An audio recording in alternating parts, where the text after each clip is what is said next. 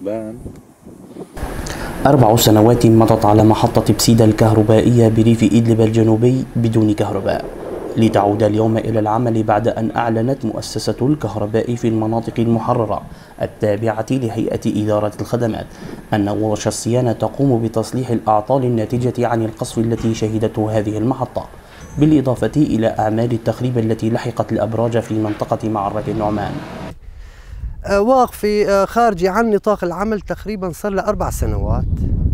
بعد أربع سنوات آه، صار في إلى صيانة كامل بالكابلات بخزانات الكهرباء طبعا بتأمين الزيت للخزانات بتأمين بطاريات لخط دي سي بعد جهد يعني وتعاون يعني من كل الأخوة آه، تم إصلاح المحطة.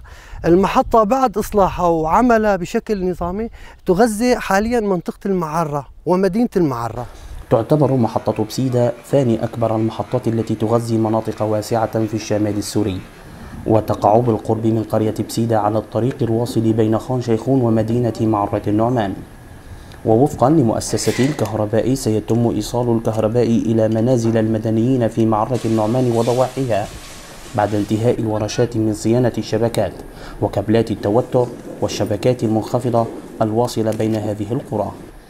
تم بفضل الله سبحانه وتعالى مد الخطوط وإيصالها إلى مدينة معرة النعمان وإيصالها إلى الخزانات الكهربائية وتوتر العشرين كيلو واط ليتم من خلالها تغذية المولدات الكهربائية بإذن الله سبحانه وتعالى وليتم تغذية الأهالي بالأمبيرات عن طريق المولدات الموجودة.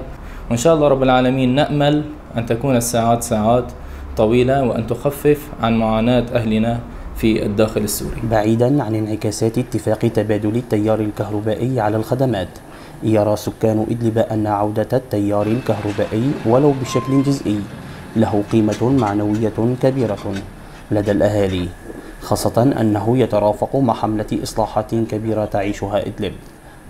لقناة حلب اليوم إبراهيم السويد ريف إدلب.